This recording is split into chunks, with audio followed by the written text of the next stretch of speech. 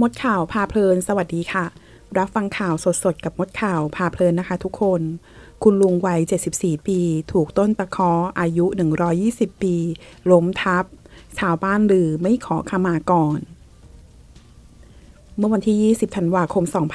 2567 ที่ผ่านมา เจ้าหน้าที่ตำรวจสพทะเมชัยอำเภอลำปลายมาจังหวัดบุรีรัมย์ได้รับแจ้ง ต้นไม้ล้มทับชาวบ้านบุโพตำบลบุโพ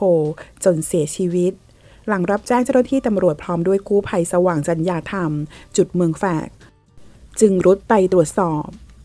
ที่เกิดเหตุเป็นทุ่งนาท้ายหมู่บ้าน พบศพนายแสวงห่อไทยสงอายุ 74 ปี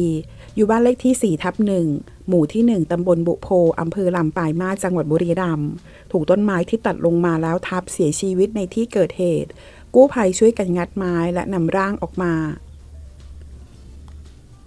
สอบถามรถตำรวจโทสหาวุฒิหลานเขยผู้เสียชีวิตเล่าว่า ลุงมักจะรับจ้างชาวบ้านตัดไม้เป็นประจำ เพราะว่าเป็นอาชีพที่ถนัด เวลาชาวบ้านต้องการตัดต้นไม้จะเรียกลุงมาตัดให้ เท่าที่ทราบ ลุงเองรับจ้างตัดต้นไม้สองต้นคือต้นสะเดากับต้นตะเคาะเป็นจำนวนเงิน 800 บาท ซึ่งก่อนหน้านี้ได้ตัดต้นสะเดาเรียบร้อยแล้ว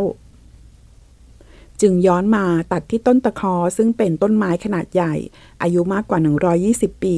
หลังจากตัดลำต้นไปได้ส่วนหนึ่ง ลุงได้กลับบ้านไปก่อน พอย้อนกลับมาเก็บรายละเอียดเพิ่มเติม และคาดว่าระหว่างกำลังตัดอยู่ลำต้นได้เอ็นล้มลงมาทับ โดยไม่มีใครมาช่วยเหลือได้ เพราะอยู่คนเดียวด้านนางบุญเหรียญหอไทยสงอายุ 72 ปีภรรยาผู้เสียชีวิตเล่าว่า การรับจ้างตัดต้นไม้ถือเป็นอาชีพหลักของสามี เพราะว่าออกไปรับจ้างเป็นประจำ แต่ไม่ค่อยได้คุยกัน จึงไม่รู้ว่าวันนี้จะไปตัดที่ไหน ได้ยินเสียงบ่นตอนเมาสุราว่าข้ากับเอง ใครจะเสียชีวิตก่อน พอรุ่งเช้า จึงมีคนไปเจอว่าสามีเสียชีวิต ขอขอบคุณข้อมูลจากสยามนิวค่ะ ถ้าเพื่อนๆชอบคลิปนี้ฝากกดไลค์และกดกระดิ่งติดตามเพื่อเป็นกำลังใจให้ช่องมดข่าวพาเพลินด้วยนะคะ ขอบคุณค่ะ